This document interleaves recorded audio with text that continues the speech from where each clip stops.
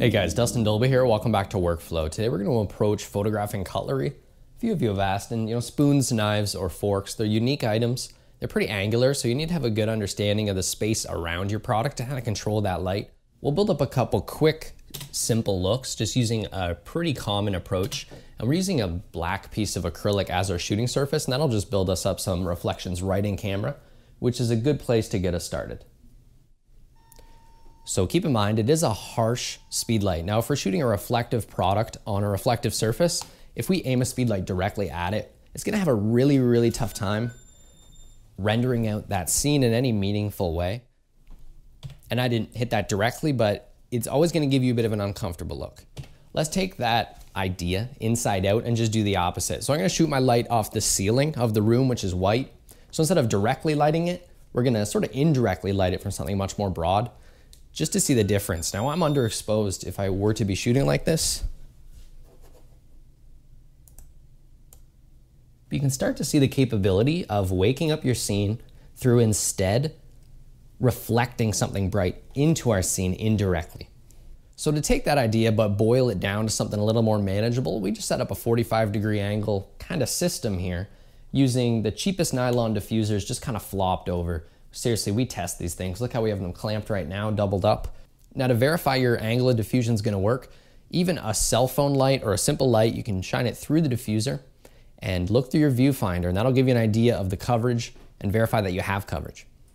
So anyways, I moved our one speed light here just behind our diffusers, aimed at it at about a 45. And again, I have a grid on our speed light, which is optional. That'll give us a bit more of a narrow result. But having this control is gonna be very nice because the ceiling was pretty sporadic.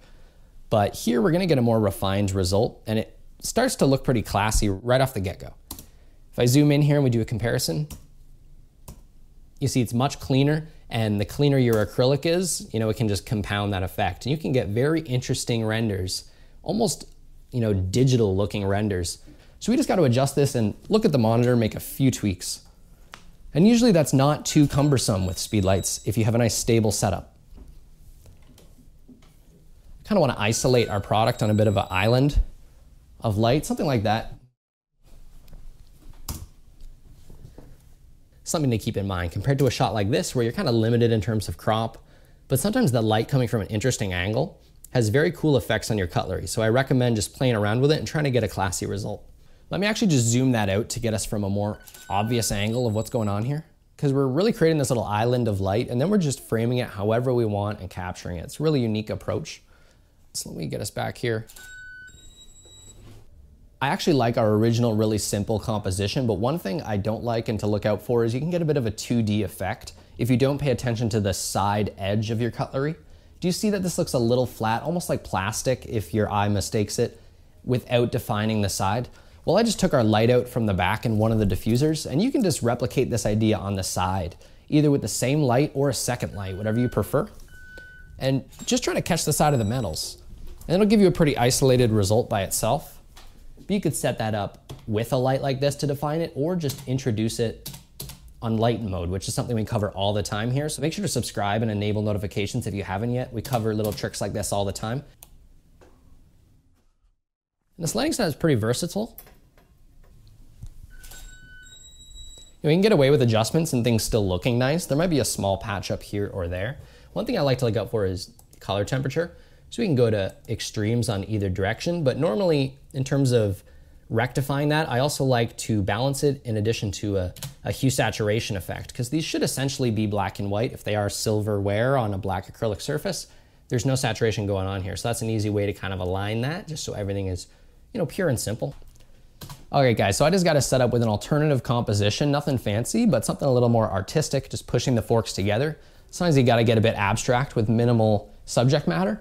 And I'm lighting this with the same diffuser at a 45 degree angle, but the angles are like wildly different. So let's see how the coverage is. And we can make a quick adjustment because if it falls short, like look at the top of those forks, they probably fall a little short in terms of brightness. It abruptly stops and I don't like that. Something as small as pulling the diffuser just more over my subject will make the difference. Like you might think you have to light in a dome or something, or you know, a lighting tent, but you don't need to if your lighting setup is bendable, you can make those angles work. And when you set up something sort of flexible like this, it's really easy for a few adjustments to make the lighting work such that you're fulfilling the whole surface of the item. I think that looks shiny, classy. If I zoom in here enough, it starts to look like abstract architecture photography, which I just find kind of weird, kind of an interesting tidbit. Now the same problem exists with the front ridge. You might want to shoot a light into those from the front, but that would just be a simple lighten solution like our solution before.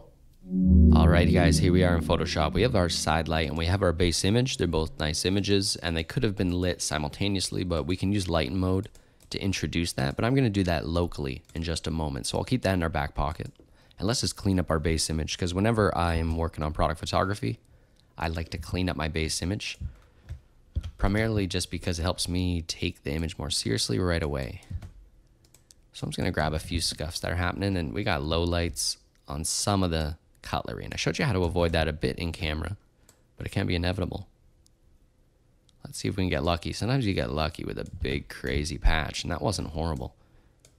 There's still a little stuff going on here, and you can kind of ruin the fidelity of the image if you over patch. Maybe I'll just leave that like that, and you get the idea. You can kind of make up for areas like that, but sort of softer gradient low lights like that, I don't mind. That kind of gives character and shows off the material finish in a way.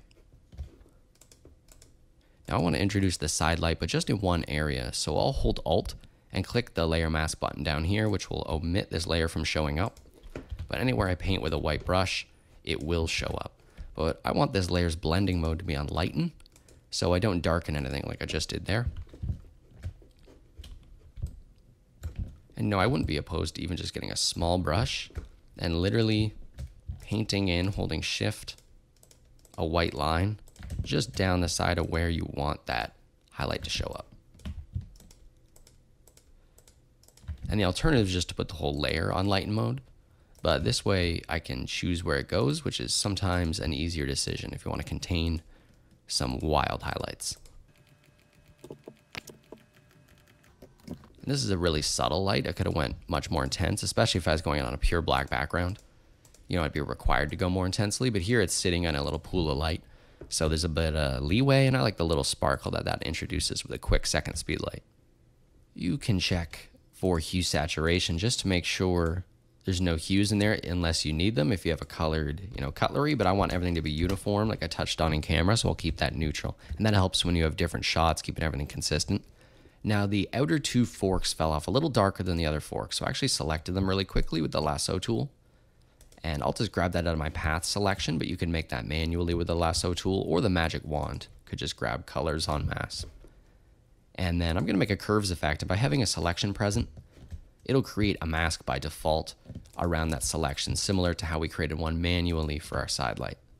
So with that selection present, I'm just gonna bump up the brightness of the outer two forks a little bit because the light fell off a tiny bit and that's ridiculously subtle, but I think maybe I should have made my outer light maybe 15% more broad, and that just helps keep each fork consistent because they have the same material finish, so I don't want to be, you know, getting dramatic with how bright they are here.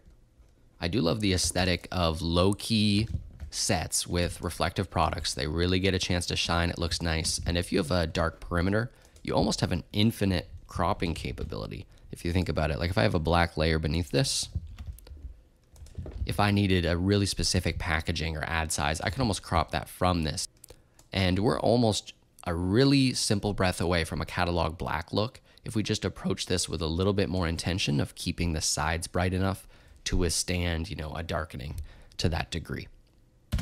So folks, thanks for watching this. Make sure to subscribe before you leave and hopefully this workflow gave you a peek of insight into how to approach photographing a reflective item like cutlery I'm no expert, but using convenient angles to get smooth lighting is a no-brainer. And as a beautiful base light, I mean, you can complexify on top of that, and it's a great way to get started here. So make sure to post your own lighting setups in our Facebook group, which is always linked below. I appreciate watching your guys' work, and stay healthy, everybody. I'll see you next time here on Workphlo.